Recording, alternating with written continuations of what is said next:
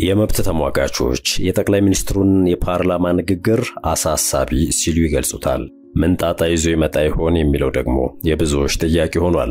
ጠቅላይ ሚኒስትሩ በኢትዮጵያ የሚገኙ የሰብአዊ መብት ተሟጋች ድርጅቶች የመንግስታቸውን የዘፈቀደ ግድያ፣ እስርና ማፈናቀል እንዲሁም ሌሎች አሰቃቂ የሰብአዊ መብት ጥሰቶችን ማጋለጣቸው እንዳበሳጫቸው ጠቅላይ ሚኒስትሩ የሰብአዊ መብትን እንደ ቋንቋ በማሞካሸት ሲናገሩ ነገር ግን ፖለቲካዊና ሕጋዊ ፍቺውን ከግንዛቤ አስገብተው ለመተንተን ብዙም አለመፈለጋቸውን የሕግ እንዲሁም የመብት ተሟጋቾች ይገልጻሉ። ሰብአዊ መብት ደስ የሚል ቋንቋ ነው አሉ አብይ። ግን ይሄ ቋንቋ ከዋናው የትርጉም ግንድ ወጥቶ የፖለቲካ መጠቀሚያ እየሆነ ነው ሲሉም ተደምጧል። በቁጭት መንፈስ ውስጥ ሆነው ካደረጉት ንግግራቸው ውስጥ እኛ ደሞዝ የማንከፍለው ለሌሎች ኃይሎች ሪፖርት የሚያደርግ ተቋም ኢትዮጵያ ውስጥ ከፈቀድን ምን ሊፈጠር እንደሚችል ለእናንተ መተው ነው የሚለው ይጠቀሳል። የዘፈን ዳርዳርታው የሚመስለውና መንግስት ደሞዝ የማይከፍላቸው የሚለው የቁጭት ንግግራቸው መነሻው ለኤንጂኦዎችም ሆነ ለሀገር በቀል የሰብአዊ መብት ተቋማት ያላቸውን የተዛባ ምልከታ ወይንም የተሳሳተ ግንዛቤ ለመፍጠር ታስቦበት የተደረገ ንግግር ይመስላል የሚሉ አስተያየቶችም እንዲሁ እንዲሰጡ አድርጓል።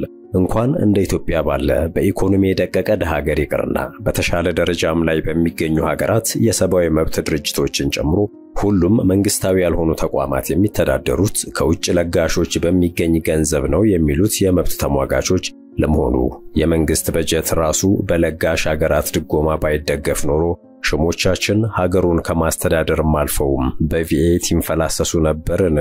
ሲል ይጠይቃሉ። ጤና ይስጥልን የኢትዮ ታይምስ ቤተሰቦች እንዴት አላችሁ?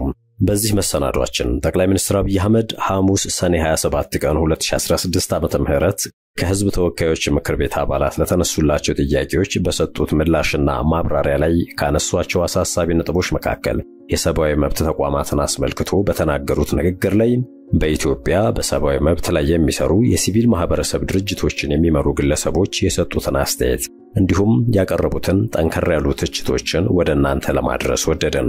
ቀዳሚ የምናደርገው ቢቢሲ አማርኛ ያናገራቸው የሰብአዊ መብት ተሟጋቾች ያነሷቸውን ነጥቦች ሲሆን በተከታይነት ደግሞ የኢትዮጵያ ሰብአዊ መብቶች ተሟጋቾች ማዕከል ዋና ዳይሬክተር ያሬድ ኃይለማርያም ጠቅላይ ሚኒስትሩን አጥብቀው የወቀሱበትን ምልከታቸውን የምናጋራችሁ ይሆናል።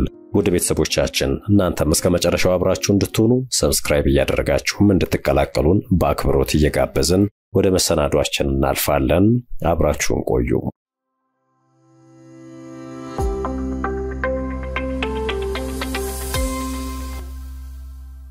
የጠቅላይ ሚኒስትሩ አስተያየት የሰብአዊ መብት ተሟጋች ተቋማትን ያስደነገጠ ነበረ። በኢትዮጵያ በሰብአዊ መብት ላይ የሚሰሩ የሲቪል ማህበረሰብ ድርጅቶችን የሚመሩ ግለሰቦች የጠቅላይ ሚኒስትሩ ንግግርን አሳሳቢና አስደንጋጭ መሆኑን ነግረውኛል ይላል የቢቢሲ ዘገባ። ሆኖም ግን የጠቅላይ ሚኒስትሩ የሐሙስ ዕለት ንግግር ድንገት የተከሰተ አለመሆኑን ያነሳሉ። አንድ ስማቸው እንዳይጠቀስ የጠየቁ የሰብአዊ መብት ባለሙያ ነገሩኝ ሲል ቢቢሲ እንዳስነበበው የጠቅላይ ሚኒስትሩን ንግግር በድኅረ 2010 በአዲሱ የሲቪል ማህበራት ሕግ የተገኘው የመደራጀት ነጻነት የመጨረሻ ግብዓተ መሬት ነው ይላሉ። ነገር ግን ይህ የአብይ ንግግር አጠቃላይ የሀገሪቱ ሰብአዊ መብት ሁኔታ ላይ ለውጥ አያመጣም ሲሉ ያክላሉ። የሰብአዊ መብት ምሁሩ የሰብአዊ መብት ተሟጋች ድርጅቶቹ በመኖራቸው መንግስት ከሕግ ውጭ የሚገደሉና የሚታሰሩ ሰዎች ቁጥር አለመቀነሱ ወይም በአጠቃላይ የሀገሪቱ የሰብአዊ መብት ሁኔታን ለዚህ በማሳያነት ይጠቅሳሉ። ከዚህ በተጨማሪም የሕግ ማሻሻያዎቹ ከአዲስ አበባና ከአንዳንድ ዋና ዋና የከተማ ማዕከላት ውጪ በማህበራዊ ሕይወት ላይ የጎላ ተጽዕኖ አላመጣም በማለት የጠቅላይ ሚኒስትሩ ንግግር ተጽዕኖ ቢኖረውም መዋቅራዊ ወይም ጥልቅ አይሆንም ሲሉ ተናግረዋል። የመብቶችና ዴሞክራሲ እድገት ማዕከል ወይም በእንግሊዝኛው ምህጻረ ቃል ካርድ ዳይሬክተር የሆኑት በፍቃዱ ኃይሉም በበኩላቸውም ተመሳሳይ የሆነ ሀሳብ ነው ያላቸው። አቶ በፍቃዱ ከቅርብ ጊዜ ወዲህ ያሉ ሁኔታዎች በሙሉ የሚያመላክቱት መንግስት በጥርጣሬና በጥላቻ እየተመለከተን እንደሆነ ለመረዳት የሚያስችሉ ናቸው ይላሉ። በግልጽ እንደዚህ ጠቅላይ ሚኒስትሩ ለሕዝብ ተወካዮች ምክር ቤት ሪፖርት ላይ ከምንም ተነስተው እንደዚህ አይነት ንግግር ያደርጋሉ የሚል እምነት አልነበረኝም ሲሉ አክለዋል። አቶ በፍቃዱም ይህ የጠቅላይ ሚኒስትሩ ንግግር ድንገት የወጣ ንግግር እንዳልሆነ ያስታውቃል በማለት ለዚህ ደግሞ በማሳያነት የሚጠቅሱት የሰብአዊ መብት ተቋማት ላይ የሚደርሱ ጫናዎችን ነው። እነዚህ ጫናዎች ከሁለት ሳምንታት በፊት 12 የሰብአዊ መብት ላይ የሚሰሩ ሀገር በቀል የሲቪል ማህበረሰብ ድርጅቶች ባወጡት መግለጫ ላይ ተስተጋብቷል። ተቋማቱ በመግለጫቸው ጠንካራ የውትወታ ስራን በመስራታቸው ከመንግስት በኩል ተደጋጋሚ ጥቃትና ከፍተኛ ጫና እየደረሰባቸው እንደሚገኝ ጠቁመው ነበረ። እነዚህ ጫናዎች በሚወጡ ህጎች፣ ፖሊሲዎችና አሰራሮች ላይ ጭምር ጎልተው እንደሚታዩ በዚሁ መግለጫ ላይ ተጠቅሷል። የሲቪል ማህበረሰብ ድርጅቶቹ በሥራ ኃላፊዎችና በሰራተኞቻቸው ላይ ከፍተኛ የሆኑ ማስፈራሪያዎች፣ ዛቻዎችና ጫናዎች መፈጸማቸውን በዚሁ መግለጫ ላይ ጠቅሰዋል። የሴታዊት ንቅናቄ መስራችና ዋና ዳይሬክተር የሆኑት ዶክተር ስህን ተፈራ እስካሁን ያለው ማዋከብም ፍተሻም በሕግ የታቀፈ አይደለም ይላሉ። ጠቅላይ ሚኒስትር አብይ አህመድ ወደ ስልጣን ከመጡ በኋላ ካሻሻሏቸውና ከፍተኛ ውዳሴ ካገኙባቸው ሕጎች መካከል የሲቪል ማህበረሰብ ድርጅት አዋጅ አንዱ ነው። ከአምስት ዓመት በፊት የተሻሻለው ሕግ የሲቪል ማህበረሰብ ድርጅቶች ከ10 በመቶ በላይ ገቢያቸውን ከውጭ ምንጮች እንዲቀበሉ አይፈቀድላቸውም። ሰብአዊ መብት ተሟጋቾች ይህንን ሕግ አፋኝ ሲሉ ይገልጹታል። በዚህ ሕግ ሳቢያም የሲቪል ማህበረሰብ ድርጅቶች እንቅስቃሴያቸው በእጅጉ ተገድቦ ነበረ። ከጠቅላይ ሚኒስትር አብይ አህመድ ወደ ስልጣን መምጣት በኋላ አላስፈላጊ ገደብ ነው ተብሎ ሕጉ መሻሻሉን የሚያስታውሱት አቶ በፍቃዱ ኃይሉ አስተዳደራቸው ውዳሴና ሙገሳ የተቀበለበትን ነገር ነው አሁን እየተቹ ያሉት ይላሉ። ጠቅላይ ሚኒስትሩ ሐሙስ ሰኔ 27 ቀን 2016 ዓ.ም ለሀገሪቱ ሕግ አውጪዎች ባደረጉት ንግግራቸው የሲቪል ማህበረሰብ ድርጅቶችን የገቢ ምንጭን የተመለከተ አስተያየትን ሰጥተዋል። እኛ ደሞዝ የማንከፍለው ሌሎች ኃይሎች የቀጠሩት ለሌሎች ኃይሎች ሪፖርት የሚያደርግ ተቋም ኢትዮጵያ ውስጥ ከፈቀድን ምን ሊፈጠር እንደሚችል ለእናንተው መተው ነው ብለዋል። ጠቅላይ ሚኒስትሩ የሚያስደነግጥ ይዘት ያለው ንግግር ነው ያደረጉት የሚሉት ዶክተር ስህን በተለይም እኛ የማንከፍላቸው ተቋማት ያሉት እሱ ያሳስባል። የትኛውም ሀገር የሰብአዊ መብት ላይ የሚሰሩ ድርጅቶች መንግስት አይከፍላቸውም፣ ገለልተኛ መሆን አለባቸው ሲሉ የጠቅላይ ሚኒስትሩን ንግግር ስህተት መሆኑን ይገልጻሉ። የሴታዊት ንቅናቄ መስራቿ ዶክተር ስህን እኛ የማንከፍላቸው ያሉት እንደኛ አይነት ድርጅቶችን ቆንጠጥ ለማድረግ ከሆነ ግልጽ አይደለም። መንግስት ከከፈለንማ ችግር አለ፣ ገለልተኛ መሆን አንችልም ሲሉ አክለዋል። አቶ በፍቃዱ ኃይሉ በበኩላቸውም ሰብአዊ መብት ድርጅቶች ከተለያዩ ድርጅቶች ገቢ ማሰባሰብ ይችላሉ ይበል እንጂ ዞሮ ዞሮ ክትትል የሚያደርገው ተቋም የመንግስት ነው ሲሉ ስራቸው የመንግስት እይታ ውስጥ የተሰወረ አለመሆኑን ጠቅሰዋል። በተጨማሪም በሚስጥር የምናደርገው ነገር የለም። ለነገሩ ስራችንም በአደባባይ ነው የምንሰራው ግን ሪፖርት የሚያደርጉት ለሌላ ኃይሎች ነው፣ ገንዘብ የሚያገኙትም ከውጭ ኃይሎች ነው አሉ። ከተገኘው ምንጭ ሁሉ ገቢ የማሰባሰብ መብቱን የተሰጠን ያ ደግሞ ከህገ መንግስቱ የመደራጀት ነጻነት ጋር የሚገናኝ ነው፣ ችሮታ አይደለም ብለዋል። በፊትም በኢህአዴግ ጊዜ እንደዚያ ነበር የሚባለው የውጭ ድርጅቶች ተላላኪ ብዙ ብዙ ስያሜ ነበር የሚሉት ደግሞ ዶክተር ስህን ናቸው። ወደ አፋኝ አካሄድ ከሄድን ለሁላችንም አደጋ አለው። ለእኛ ስራችን ሳይሆን ዋናው ነገር ከዚያ በኋላ ማነው ይህንን ሪፖርት የሚያደርገው ሲሉ ስጋታቸውን ይገልጻሉ። ዶክተር ስህን አክለውም ራሳችን ገንዘብ ከለጋሽ ድርጅቶችም ከሌላ ከውጭም ካሉ ለጋሽ ድርጅቶችም አፈላልገን ስራውን መስራታችን አይቀርም። የትም ሀገር ቢሆን ለሰብአዊ መብት ስራ ሌላ መንገድ የለውም ይላሉ። ሦስቱም የሰብአዊ መብት ተሟጋቾች የጠቅላይ ሚኒስትሩ ንግግር የመንግስታቸውን ቀጣይ እርምጃ ጠቋሚ መሆኑን ያነሳሉ። ዶክተር ስህን የጠቅላይ ሚኒስትር አብይ ንግግር ለምን መንግስትን የሚወቅስ ነገር ትናገራላችሁ ብሎ በፊት እንደነበረው አይነት በጣም አፋኝ ወደሆነ ሕግ ተመልሰን ልንሄድ ነው የሚል አይነት ፍንጭ መሰለኝ ይላሉ። አቶ በፍቃዱ ኃይሉ በበኩላቸው የሰብአዊ መብት የሚባል አዋጅ ተቋም አሰራር ነው ያሉት፣ ስለዚህ በሁሉም ዘርፍ ነው መምጣት የፈለጉት ሲሉ ተናግረዋል። አንዳንዱ ነገር በሕግ የሚወሰን ነው፣ ስለዚህ ሕግ ክለሳ ሊኖር እንደሚችል እጠረጥራለሁ የሚሉት አቶ ፍቃዱ ይሄ በተዘዋዋሪ ስናያቸው የነበሩ ጫናዎች በሙሉ በሕጋዊና በአሰራር ደረጃ መንግስታዊ ዕውቅና ኖሮት ሊመጣና ሊጠናከር የሚችል ነው ብለን ጠርጥረናል። የሚያስደነግጥ ነው፣ ምንም ጥያቄ የለውም በሚል ስጋታቸውን አጋርተዋል። ስማቸው እንዲጠቀስ ያልፈቀዱት የሕግ ምሁር ደግሞ በቅርብ ጊዜ የተዋወቁት ሕጎችን በመጥቀስ ከዚህ በፊት የነበሩት የሕግ ለውጦችና ማሻሻዮች አሁን ሞተዋል በማለት ነገሮች ወደ ኋላ እየተመለሱን የሚል ምልከታ አላቸው። ለዚህም የኢሚግሬሽንና የንብረት ማስመለስ አዋጅን በማንሳት የ2010ሩን ለውጥ ተከትሎ የተገኙት የሕግ ማሻሻያዎች መቅበሪያ ሳጥን ላይ የመጨረሻው ሚስማር እየተመታ ያለ ይመስላል በማለት ስጋታቸውን ይገልጻሉ። ውድ የኢትዮ ታይምስ ቤተሰቦች፣ ቀጥሎ ደግሞ የሰብአዊ መብት ተሟጋቾች ማዕከል ዋና ዳይሬክተር ያሬድ ኃይለማርያም ይህንኑ ጉዳይ በተመለከተ ጠበቅ አድርገው ጠቅላይ ሚኒስትሩን የወቀሱበትን ነገሮችም ሊሆኑ ይገባሉ ባሏቸው ምልከታዎች ላይ ሐሳባቸውን ያጋሩበትን ጽሑፍ እንመልከት። ያሬድ ኃይለማርያም እነዚህን ነጥቦች ያነሱት በቅዳሜ መልእክታቸው ላይ ነው። ጠቅላዩ ስለ ሰብአዊ መብት ድርጅቶች ስለ GO NGOs versus NGOs በማለት ነው ያሬድ ኃይለማርያም ያስነበቡት። GO NGOs ወይም GONGOs በሚል የሚጠራው መንግስታዊ ያልሆኑ የሚመስሉ ተቋማት ነገር ግን ከኋላ ሙሉ በሙሉ የሚዘውራቸው ራሱ መንግስት የሆኑ ምስለ NGO ችን ነው። governmental non governmental organization የሚባሉት ናቸው።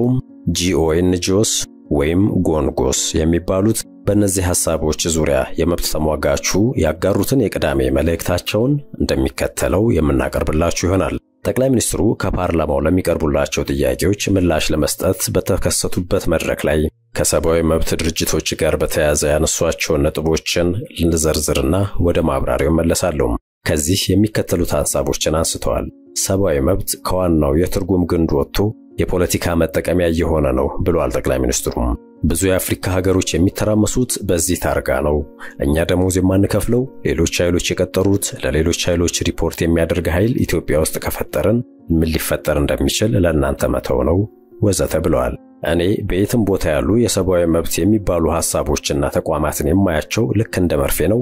መርፌ የራሱን ቀዳዳ መድፈን አይችልም፣ የራሳቸውን ድክመት ማየት አይችሉም የሚለውም የጠቅላይ ሚኒስትሩ ንግግር ነው። እነዚህና ሌሎች ተያያዥ ሐሳቦችን አቅርበው ፓርላማው የሀገሪቱን ሰብአዊ መብቶችን የሚመለከቱ ሕጎችን መልሶ እንዲቃኝና ተቋማቱን እንዲመረምር ጠቅላይ ሚኒስትሩ ጠይቀዋል። በመጀመሪያ አሁን የጠቀስናቸውን የጠቅላዩን ንግግር ስሰማ መጀመሪያ ወደ አእምሮ የድቅን ያለው ምርጫ 97ን ተከትሎ ህወሓት መራሹ ኢህአዴግ አጽድቆ ያወጣው እጅግ በአፋኝነቱም ዓለም በሰፊው የተወያየበት የሲቪክ ማህበረሰቡን የመቆጣጠሪያው አዋጅ አዋጁ የወጣበት ሂደትና በሲቪክ ምህዳሩም ላይ ያስከተለው ሰፊ ጉዳት ነው። ለማንኛውም ቀደም ሲል የጠቀስናቸው የጠቅላይ ሚኒስትሩ ንግግር ላይ ሳተኩር ብዙ የሐሳብ መፋለሶችን ፍጹም ከተሳሳተ የሐሳብ መነሻ የተደረሱ የፖለቲካ ውሳኔዎችን የሲቪክ ምህዳሩን መልሶ ለማጥበብ ማቀዳቸውን በዘፈቀደ በሲቪክ ማህበረሰቡ ላይ ይፈጸሙ የነበሩ አንዳንድ እርምጃዎችን ህጋዊ ቅርጽ ማስያዝ የአገዛዝ ስርዓቱ እንዳሻው የሚቆጣጠራቸው የሚያዛቸው ተቋማትን ወይም ጎንጎስን ማለትም governmental non governmental organization ኦችን መፍጠርና የገለልተኛ ሰብአዊ መብት ተቆርቋሪ ድርጅቶችን ወይንም non governmental organization ኦችን በመጠንም ይሁን በአቅም እንዲመነምኑና እንዲጠፉ የታለመ ይመስላል። በመጀመሪያ በ GO NGOs ማለትም GONGOs ና በ NGOs መካከል ያለውን ልዩነት በመጠኑ እንመልከት። NGOs እየተባሉ የሚጠሩት ድርጅቶች ለትርፍ ያልተቋቋሙና ከመንግስትም ሆነ ከማናቸውም የፖለቲካ ቡድኖች ነፃ የሆኑ ገለልተኛና በሰላማዊ መንገድ ብቻ የሚንቀሳቀሱ ድርጅቶች ናቸው። ብዙውን ጊዜ በበጎ አድራጎት ስራዎች፣ በሰብአዊ መብቶች፣ በህግ ልዕልናና ሰብአዊ እርዳታዎችን በማቅረብ የሚታወቁ ናቸው። GO NGOs ወይም GONGOs የሚባሉት ደግሞ ከ NGOs ጋር ተመሳሳይ በሆኑ ስራዎች ላይ የሚያተኩሩ ቢሆኑም ከአፈጣጠራቸው ጀምሮ በመንግስት በጀት መንግስት ለፈለገው ዓላማና ተግባር የሚዋቀሩ በመሆናቸው በ NGOs ስም የመንግስትን ፖሊሲና ስራ የሚተገብሩ ማደናገሪያዎች ናቸው።